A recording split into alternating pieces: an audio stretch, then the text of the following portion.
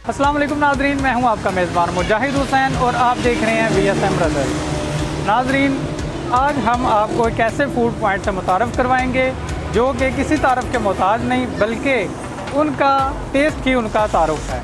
नाजरीन, मेरी मुराद है चिक्सिन आज हम चिक्सिन के सी सीईओ जनाब मलक उमर साहब से आपकी मुलाकात करवाएँगे। बहुत सारे सवाल पूछेंगे।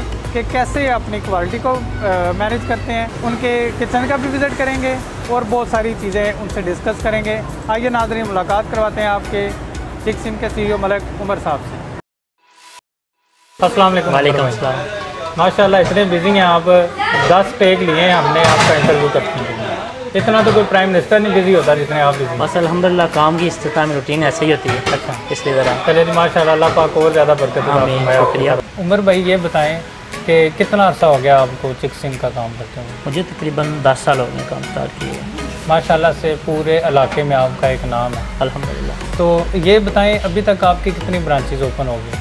अभी तक मेरी दो ब्रांचेज़ हैं जो चल रही हैं और इंशाल्लाह मज़ीद ईद के बाद वो ओपन कर हैं इंशाल्लाह। माशाल्लाह। अच्छा उमर भाई ये बताएँ आपके चिक्सिन का आइडिया आपके जहन में किस तरह है?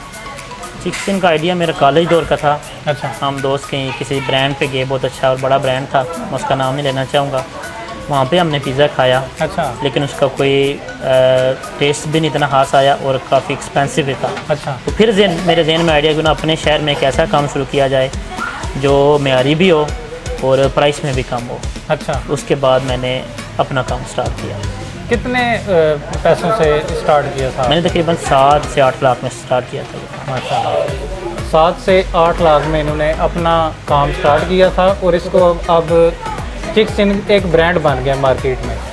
अच्छा तो उमर भाई आप ये बताएँ कि आपके पास कितने वर्कर्स काम करते हैं? मेरे पास इस वक्त तो आठ वर्कर्स यहाँ पे काम कर रहे हैं। दो शेफ़ हैं और चार सर्विस पे हैं दो डिलीवरी पे हैं। ठीक हो गया। अच्छा उमर भाई कोरोना की वजह से काम पे कुछ फ़र्क पड़ा है आपको? कोरोना की वजह से इतना खास फ़र्क तो नहीं है क्योंकि कोरोना में हमने एस ओ पे अमल करते हुए तकरीबन होम डिलीवरी और टेक वे जो काम जारी रहा है इसलिए कोई इतना ख़ास फ़र्क नहीं पड़ा। उमर भाई ये बताएँ कि क्वालिटी को कैसे मैनेज करते हैं आप? क्वालिटी को मैनेज कर एक तो हमारी सॉस और रेसिपी सारी अपनी वो हम अपनी बनाते हैं। अच्छा। इसके अलावा सब जो चीज़ें हम बाहर से यूज़ करते हैं ना चीज़ हो गया चिकन हो गया वो सब हम मेयारी और ब्रांडेड चीज़ें यूज़ करते हैं। ठीक हो। गया क्वालिटी पे हम बिल्कुल बिल्कुल कंप्रोमाइज़ नहीं करते। सही है। अच्छा उमर भाई आपके किचन का विज़िट कर सकते हैं हम? जी बिल्कुल ज़रूर। नाजरीन अभी हम आपको इनके किचन का विज़िट करवाएँगे और किचन की सफ़ाई वगैरह काम करने का तरीका वगैरह सब कुछ आपको दिखाएँगे। आइए मिलते हैं फिक्स इनके शेफ से। हाँ जी अ, क्या नाम है भैया आपका? जी भाईजान मेरा नाम जैन है। अच्छा जैन भाई माशाल्लाह बड़ी बात है पिज़्ज़े पे पिज़्ज़े लगा रहे हैं। जी भाईजान अल्लाह का शुक्र है मेरी ऐसे तो क्या करें तो डिमांड है बहुत ज़्यादा। बिल्कुल। अच्छा जैन भाई आप ये बताएँ कि कितना अर्सा हो गया आपको शेफ़ का काम करते जी हैं भाईजान मुझे अल्हम्दुलिल्लाह छः से सात साल हो गए हैं इस काम में। अच्छा। और अल्हम्दुलिल्लाह इसी जगह पे। ठीक है। ठीक। अच्छा जैन भाई आप ये बताएँ कि आपके पास सबसे ज़्यादा डिमांड कौन सी डील की आती है? भाई हमारे पास वैसे तो हमारी सारी जो चीज़ें हैं वो बेहतरीन है मसलन अच्छा टेस्ट है उनका। बस अच्छा। ज़्यादा हमारी डिमांड है जिंगर बर्गर उसमें उस जिंगर बर्गर हो पिज़्ज़ा हो फजीता अच्छा। क्रीमी पिज़्ज़ा हो जाए कबाब क्रस्ट कितने किस्म के बर्गर बनाते हैं आप? बर्गर तो हमारे हैं भाईजान पाँच किस्म के बर्गर हैं। पिज़्ज़ा बर्गर है चिकन बर्गर है बीफ बर्गर है जिंगर बर्गर है। अच्छा। बहुत किस्म के बर्गर हैं सबसे डिफरेंट बर्गर कौन सा? हमारे पास सबसे डिफरेंट बर्गर है जो वो पिज़्ज़ा बर्गर।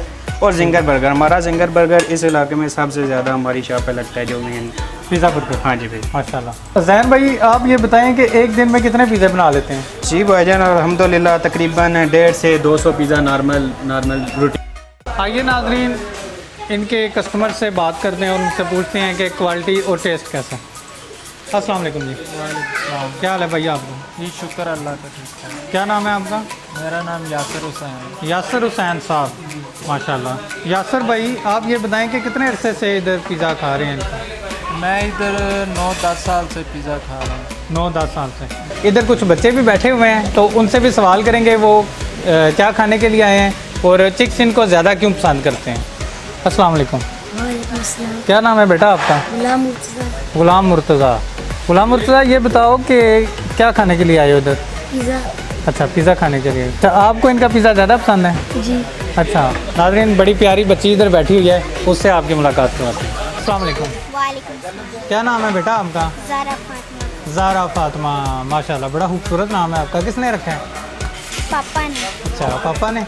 बड़ा प्यारा नाम रखा है आपका। ज़ारा फातिमा ये बताओ कि इधर क्या खाने के लिए आई हो? पिज़्ज़ा।